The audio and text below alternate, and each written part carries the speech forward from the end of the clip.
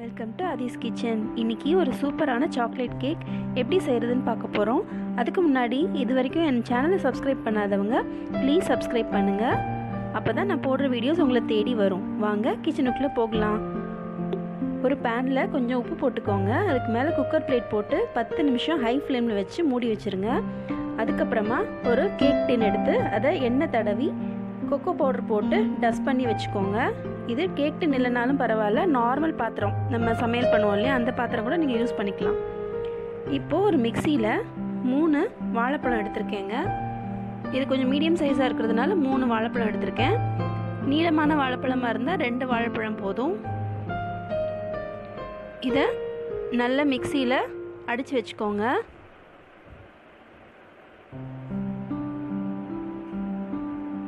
இப்போ தேவையான பொருட்கள்னு பார்த்தீங்கன்னா நம்ம கோதுமை மாவில் பண்ண போகிறோம் ஒன்றே கால் கப் அளவுக்கு நான் கோதுமை மாவு எடுத்திருக்கேன். நார்மல் கோதுமை மாவு.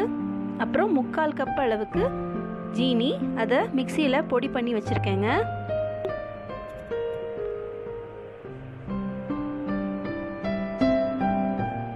அப்புறமா கொக்கோ பவுடர் வந்து ஒரு கால் கப் வேணும்.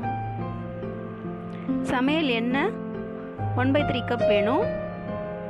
தண்ணி அதே அளவுக்கு வேணும். உப்பு ஒரு பிஞ்சு. பேக்கிங் சோடா ஒரு ஸ்பூன் பேக்கிங் சோடானா ஆப்ப சோடா அப்புறம் எலுமிச்சம்பழத்தோட ஜூஸு ஒரு டீஸ்பூன் அப்புறம் நறுக்குன ட்ரை ஃப்ரூட்ஸ் அதாவது நட்ஸ் இருக்கு இல்லைங்களா அது. முந்திரி பாதாம் பிஸ்தா. முந்திரி பருப்பு மட்டும் போடலாம் பாதாம் பருப்பு மட்டும் போடலாம் அது உங்கள் விருப்பம். அப்புறமா அரைச்ச நம்ம அரைச்சோம் இல்லையா வாழைப்பழம் அது. இப்போ முதல்ல கோதுமை மாவு சர்க்கரை எல்லாத்தையும் நல்லா சலிச்சுக்கோங்க கட்டி இல்லாமல் இருந்தால் தான் கேக் வந்து சாஃப்டாக இருக்கும். கோதுமை மாவு சலிச்சாச்சு இப்போ வந்து நான் பொடி பண்ண சர்க்கரை இருக்கு இல்லைங்களே அதை வந்து நான் வந்து ஜலிச்சுக்கிறேன்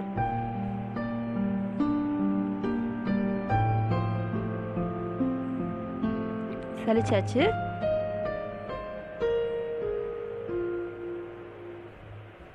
அப்புறமா கொக்கோ பவுடர் போடுறேன். உப்பு பேக்கிங் சோடா எல்லாத்தையும் ஒன்றா போட்டு நல்லா சலிச்சுக்கோங்க சளிச்சு வச்சதுக்கப்புறமா இது நல்லா கலந்து விட்டுக்கோங்க. ஒரு பக்கமாக இல்லாமல் எல்லா பக்கமும் ஈக்குவலாக இருக்கிற அளவு கலந்து கலந்து விட்டுக்கோங்க.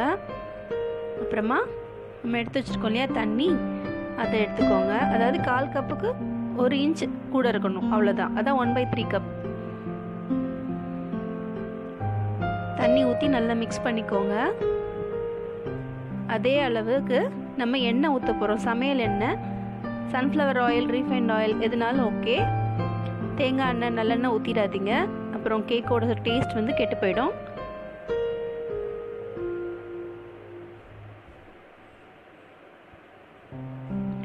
இதையும் நல்லா கலந்து விட்டுக்கோங்க.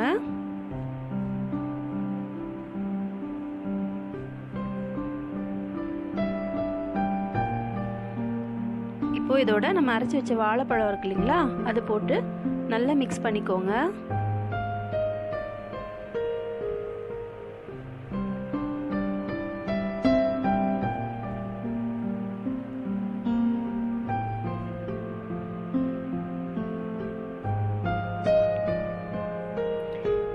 ஒரு டேபிள் ஸ்பூன் அளவுக்கு தண்ணி ஊற்றிக்கிறேங்க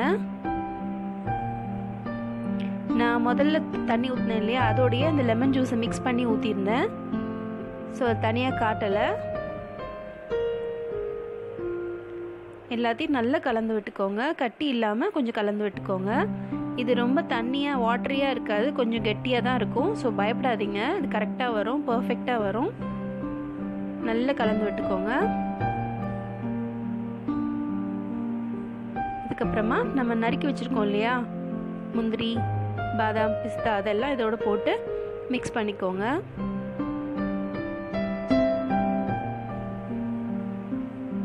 வாழைப்பழம் சாப்பிட அடம் பிடிக்கிற குழந்தைங்களுக்கு இந்த மாதிரி கேக் செஞ்சு கொடுத்தீங்கன்னா ரொம்ப நல்லது. இதில் மைதாவும் கிடையாது. தாராளமாக சாப்பிட்லாம். இப்போ நம்ம செஞ்சு வச்சுருக்கிறத அந்த கேக் டின்னில் கொக்கோ பவுடர் போட்டு வச்சுருந்தோம் இல்லையா? அதில் போட்டுக்கோங்க. நல்லா பரப்பி விட்டுக்கோங்க. கேப் இல்லாமல் அந்த நறுக்கி வச்ச நட்ஸ் இருக்கு இல்லையா அது கொஞ்சோண்டு எடுத்து வச்சுக்கோங்க சைடில் அது மேலே போட்டுக்கோங்க. போட்டுட்டு நம்ம பத்து நிமிஷம் ஹை ஃப்ளேமில் வச்சுருந்தோம் இல்லையா? அந்த மூடி எடுத்துட்டு இதை வச்சுருங்க. வச்சுட்டு நல்ல லோ ஃப்ளேமில் நாற்பது நிமிஷம் விட்டு எடுத்துருங்க. நடுவில் திறக்காதீங்க. கடைசியில் ஒரு முப்பத்தஞ்சு நிமிஷம் கழித்து செக் பண்ணிங்க. இந்த மாதிரி ஒரு கத்தி வச்சு செக் பண்ணி பார்த்தீங்கன்னா குத்தும்போது அதில் ஒன்றுமே ஒட்டியிருக்கக்கூடாது அப்போனா அது நல்ல பர்ஃபெக்டாக குக் ஆயிருக்குன்னு அர்த்தம். அதை எடுத்து ஒரு அரை மணி நேரம் ஆற வச்சுடுங்க. அப்புறம் அந்த பாத்திரத்தை ஒரு தட்டில் இன்வெர்ட் பண்ணிட்டீங்கன்னா கேக் அழகாக வந்துடும் இதை திருப்பி ஒரு தட்டை வச்சு திருப்பிக்கோங்க. ஃப்ரண்ட் போர்ஷன் பார்க்குறதுக்கு. இந்த க்ளே கேக் வந்து ரொம்ப ஃப்ளஃபியாக சாஃப்டாக மாய்ஸ்டாக இருந்ததுங்க. இது எல்லாருமே சாப்பிட்லாம். குழந்தைங்க பெரியவங்க எல்லாரும் சாப்பிட்லாம். மைதா கிடையாது. இல்லை பழம் வேறு இருக்குது வாழைப்பழம் இருக்குது அதனால் உடம்புக்கு ரொம்ப நல்லது. நட்ஸ் போட்டிருக்கோம். தேவையான அளவான கொழுப்பு. பட்டர் கிடையாது. எண்ணெய் தான். தாராளமாக சாப்பிட்லாம். கண்டிப்பாக அதை ட்ரை பண்ணுங்கள் எப்படி இருந்ததுன்னு உங்கள் ஃபீட்பேக் சொல்லுங்கள் என் சேனலை லைக் பண்ணுங்கள் ஷேர் பண்ணுங்கள் மறக்காமல் சப்ஸ்கிரைப் பண்ணுங்கள் எல்லாருக்கும் ஹாப்பி கிறிஸ்மஸ் இன்னும் டிஃப்ரெண்ட்டான ரெசிபீஸோடு உங்களை மீட் பண்ணுறேன் பாய்